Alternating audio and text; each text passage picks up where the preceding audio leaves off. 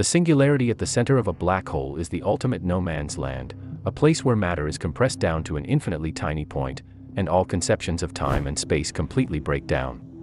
And it doesn't really exist. Something has to replace the singularity, but we're not exactly sure what. Let's explore some possibilities.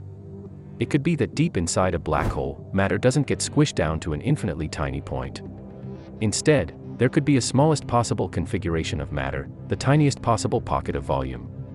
This is called a Planck star, and it's a theoretical possibility envisioned by loop quantum gravity, which is itself a highly hypothetical proposal for creating a quantum version of gravity. In the world of loop quantum gravity, space and time are quantized, the universe around us is composed of tiny discrete chunks, but at such an incredibly tiny scale that our movements appear smooth and continuous. This theoretical chunkiness of spacetime provides two benefits. 1. It takes the dream of quantum mechanics to its ultimate conclusion, explaining gravity in a natural way. And 2. It makes it impossible for singularities to form inside black holes. As matter squishes down under the immense gravitational weight of a collapsing star, it meets resistance. The discreteness of spacetime prevents matter from reaching anything smaller than the Planck length, around 1.68 times 10 carat 35 meters. All the material that has ever fallen into the black hole gets compressed into a ball not much bigger than this. Perfectly microscopic, but definitely not infinitely tiny. This resistance to continued compression eventually forces the material to uncollapse, i.e., explode, making black holes only temporary objects. But because of the extreme time dilation effects around black holes, from our perspective in the outside universe it takes billions, even trillions, of years before they go boom. So we're all set for now. Another attempt to eradicate the singularity, one that doesn't rely on untested theories of quantum gravity, is known as the gravastar. It's such a theoretical concept that my spell checker didn't even recognize the word. The difference between a black hole and a gravastar is that, instead of a singularity, the gravastar is filled with dark energy.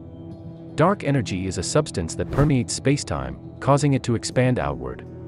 It sounds like sci-fi, but it's real, Dark energy is currently in operation in the larger cosmos, causing our entire universe to accelerate in its expansion.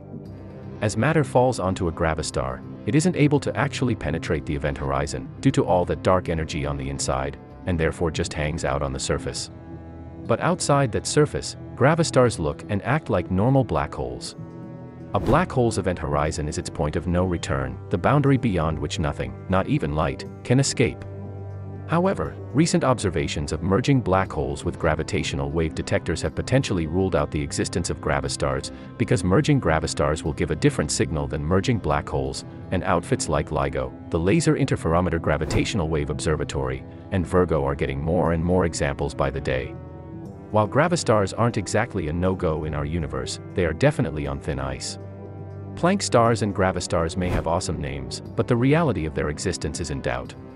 So maybe there's a more mundane explanation for singularities, one that's based on a more nuanced, and realistic, view of black holes in our universe. The idea of a single point of infinite density comes from our conception of stationary, non-rotating, uncharged, rather boring black holes. Real black holes are much more interesting characters, especially when they spin. The spin of a rotating black hole stretches the singularity into a ring.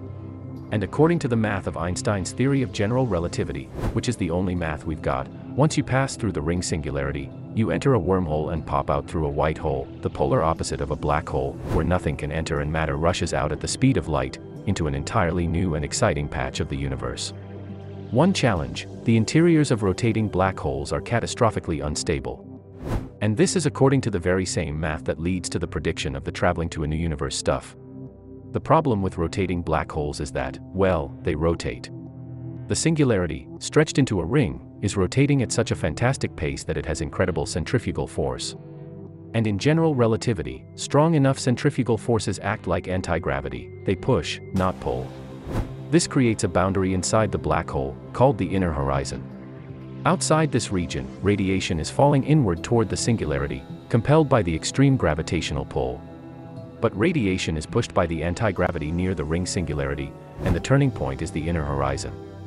If you were to encounter the inner horizon, you would face a wall of infinitely energetic radiation, the entire past history of the universe, blasted into your face in less than a blink of an eye.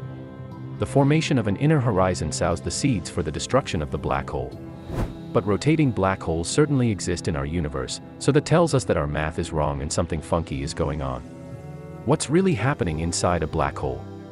We don't know, and the scary part is that we may never know.